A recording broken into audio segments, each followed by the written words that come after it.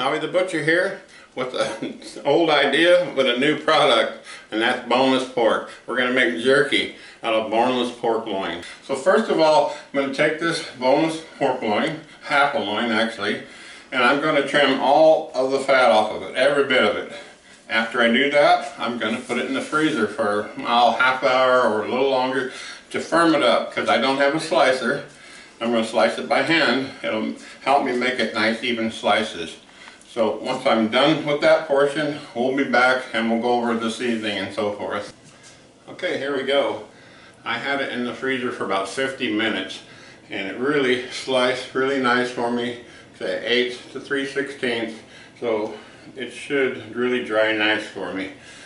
Okay, so now the seasoning, I use the same seasonings I use on the ground beef jerky uh, which you can buy off the internet. But each packet is supposed to be for two pounds. This is roughly four pounds of meat, so two packages obviously. Now, I always like to spice it up. Everyone knows that from watching my videos.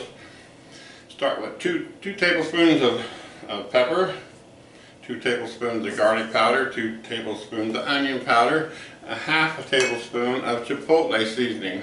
So just to give it a little bit of fire, which I like, you can add more, you can leave it out, whatever you like.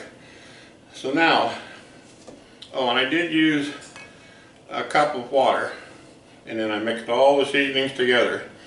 So, a couple side notes. It is recommended that for game meat, wild game meat, or pork, that you freeze it for 30 days at zero or below. Now, I, I didn't for this for a couple of reasons. Well, one reason. Uh, my dehydrator goes to 145 degrees, which is considered fully cooked when it comes to pork, okay? So it should not be any problem with, with any safety issue. So um, I'll go ahead and put it in my marinade.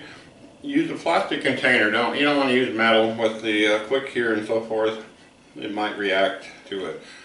Alright, I'm going to mix it in my marinade. And I'm going to leave it overnight. Let them seasonings soak in really good. So we'll do that overnight. Tomorrow we'll put it on the dehydrator and give it a whirl.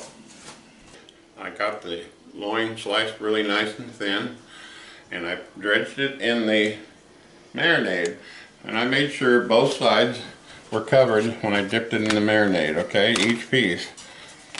Then I put it in the plastic container, covered it, and I only left it for 8 hours.